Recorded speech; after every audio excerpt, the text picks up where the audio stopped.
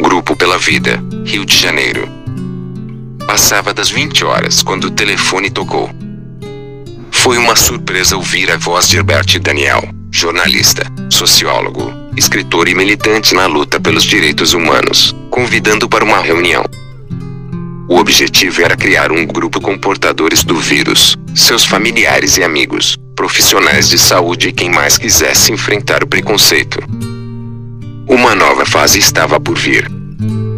Marcamos na casa do Jardim Botânico, na antiga sede da BIA, Associação Brasileira Interdisciplinar de AIDS, fundada e presidida por Herbert de Souza, o Betinho. Como Herbert Daniel também era membro da associação, as portas estavam abertas e, durante os primeiros anos, foi lá a sede do Grupo pela Vida, Valorização, Integração e Dignidade do Doente de AIDS. O grupo foi oficialmente criado em 24 de maio de 1989, e me tornei uma das fundadoras juntamente com outros que apostavam no poder da união contra a discriminação. A luta contra a morte civil ganhava força e aliados. A solidariedade era despertada por meio de entrevistas, palestras, boletins, revistas e jornais. A sociedade deveria aprender que indivíduos com e continuavam sendo cidadãos. Herbert Daniel criou o slogan Viva a Vida, dito, ou gritado, em todos os eventos do grupo. Em um de seus livros, Vida Antes da Morte, escrito em 1989, conta, quando adoeci, com uma infecção típica da AIDS, percebi que a primeira pergunta a ser respondida é a vida, e qual, antes da morte. Querem matar os doentes de AIDS, condenando-os à morte civil. Seu companheiro, Cláudio Mesquita, também militante, escreveu: Sim, nós estamos com AIDS aqui em casa. Fato triste, como é triste qualquer mal que não tenha resposta da sociedade. Se nos livrarmos da culpa que não temos, se nos livrarmos da agonia degenerativa que não vemos, se nos livrarmos da solidão clandestina que não devemos, seremos apenas pessoas como sempre, que já viveram algumas doenças e, com certeza, ainda viverão outras, até que morram de uma delas. Como todo mundo, aliás. Herbert Daniel exerceu grande influência em muitos de nós. Fico me lembrando de suas frases. Recentemente, recebi pelo celular esse trecho de um de seus livros, escrito em 1990. Ponto, ponto, ponto. Gostaria de agradecer de público ao Walter Almeida, a Rosamélia Cunha e Marcia Rachid, que me ensinaram que o AZT não se toma com ilusões. Deve ser ingerido com solidariedade e consciência. O tempo retrocedeu ao reler. Parecia que ouvia.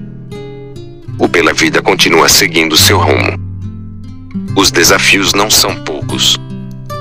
Os progressos desejados parecem quase estacionados em certos aspectos. O diagnóstico continua tardio e ainda é alta mortalidade principalmente de jovens, transexuais e travestis. Em 24 de maio de 2019, o grupo completou 30 anos.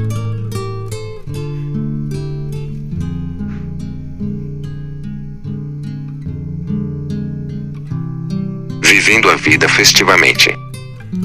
Em 1991, ganhei o livro História da Loucura, de Michel Foucault, com a seguinte dedicatória: O limiar entre o que chamamos loucura e sanidade é até tão frágil, que por diversas vezes não sabemos de qual lado estamos. Estamos sempre por um fio, mas é na loucura que vivemos a vida mais festivamente. Foi bom ter encontrado você em meio à minha loucura e contribuirei para sua sendo seu amigo. A deficiência imunológica estava avançada quando o conheci apresentava lesões de sarcoma de Kaposi na pele do corpo todo e nos pulmões, e se perguntassem, dizia, é sarcoma, um tipo de câncer. Tenho AIDS. Quase não saía de casa. Sentia falta de ar aos esforços e tossia. Passei a andar no ritmo dele. Às vezes, eu reduzia o passo e parava antes da próxima crise de tosse. Era uma tosse diferente, lembrava um som metálico.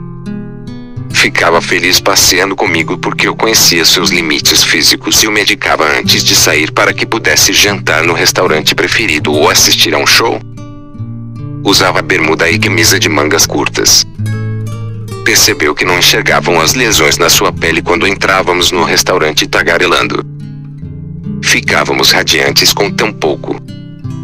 Tornaram-se óbvias as novas definições de pouco e muito. Mudei meus conceitos sobre pequenas e grandes alegrias. Em sua primeira internação, tive que telefonar para a OAB Ordem dos Advogados do Brasil, pois seguradoras e empresas de medicina de grupo não autorizavam a hospitalização de pacientes com HIV. No hospital, ele próprio explicava à equipe que não havia risco de pegar HIV nem sarcoma de Kaposi tocando na sua pele. Era carismático e encantava com suas palavras. Pensava nele sozinho no CTI e durante a noite acabava indo para lá. Parava antes para comprar Sundai ou milkshake de chocolate para ver o brilho de seu olhar diante das guloseimas. Acabo sorrindo quando me recordo da cena. Numa das visitas médicas, sua mãe aguardava no corredor para dizer que ele fizera uma lista de participantes do velório. Sem pensar direito, entrei no quarto e perguntei se meu nome estava incluído. Gargalhou e entendeu que num velório vai quem quer aproveitou para falar sobre o que gostaria de deixar organizado. Voltou para casa, e a família alugou um leito hospitalar.